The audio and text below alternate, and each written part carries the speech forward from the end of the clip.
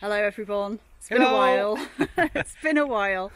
a little bit of an explanation, really. Um, we haven't filmed for a while because lockdown was one reason. Lockdown sucked the life out of us. Uh, there's only so many times you can film a walk around a Yeah, marina. there was a lot of other stuff going on in our lives as well. Um, plus, I was having a little bit of a technical issues. A lot of footage that I actually filmed uh, got corrupted on the, the uh, SanDisk, so I lost so much footage. It was unbelievable. So that was a bit of a kick.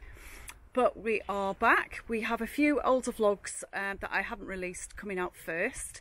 And then we've got some new stuff coming out after that. So thank you for everybody who's stuck with us.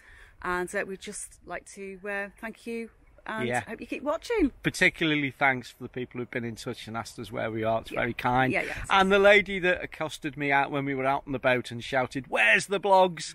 Uh, I loved that. That really gave us the kick we needed to get going and send you Yeah. some more footage. Yeah. So we've managed to escape the marina. We've been out. We've actually been out on a trip. Captain Jeffrey has done his first sets of locks and passed with flying colours. He was as good as gold. Uh, so uh, in a, a few issues time, a few um, episodes time, there will be some more footage of us out and about cruising with Captain Jeffrey. Yeah.